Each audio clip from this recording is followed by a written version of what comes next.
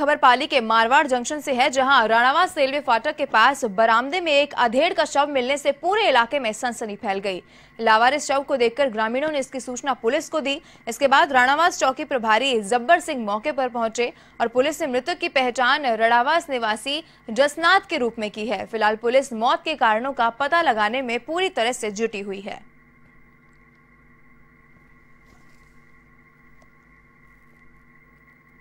देश और दुनिया की हर छोटी बड़ी खबर के लिए सब्सक्राइब करें एवन टीवी न्यूज़ साथ ही बेल आइकन को प्रेस करें ताकि आप पा सकें ताज़ा खबरों की नोटिफिकेशन